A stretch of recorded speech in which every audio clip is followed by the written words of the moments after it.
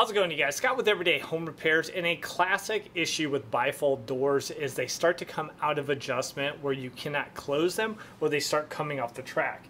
Here I have two different sets that are closing off a laundry closet and when I go to open it I have some movement here at what's called the pivot point. The bracket is actually moving in the track. And as this is a rental property for me, I wanna make this thing bulletproof so I don't get calls to come back and have to fix a bifold door. There's two different fixes. One is simple. All you need is a Phillips head screwdriver and know what part you're looking to tighten. And the other one is if that's not working for you, you can move on to the second fix. Also very easy, but a little bit more of a permanent solution. So let's jump into it.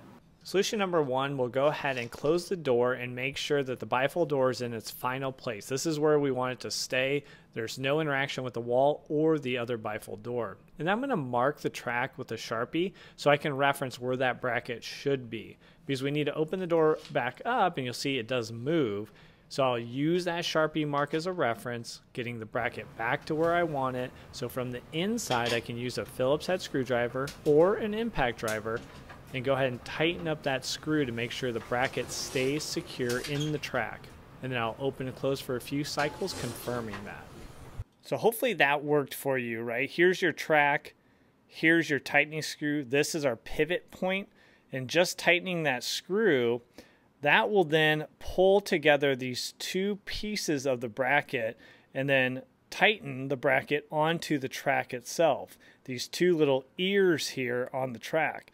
Now, for the second fix, what usually happens is no matter how much you tighten the screw, because maybe you have some deformed ears on your bracket or it's just beat up over time, this bracket will not stay. And that is the issue I'm facing. Even after tightening up that bracket, trying to hold it to the rail, I'm still getting movement there. And this being a rental, bifold doors go through a wringer. It seems like tenants and bifold doors are always in this epic battle, fighting each other, and usually the bifold doors always lose. So I need to make this bulletproof so I don't get any more calls and have to come over and fix it, and that is option two.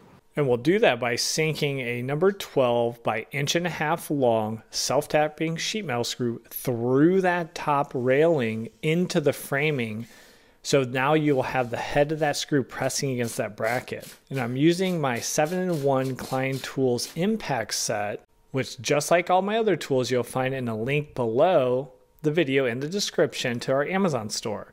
Specifically, if you go to the general tools section, you'll see that Klein Tools impact set. This is super handy because with one shaft here, all these impact drivers from a quarter inch to a half inch go on one shaft. So I can hold that one shaft in my tool belt and then either put it in the handle or run it just like it shows there on the impact driver, which is what I did to drive that self-tapping screw.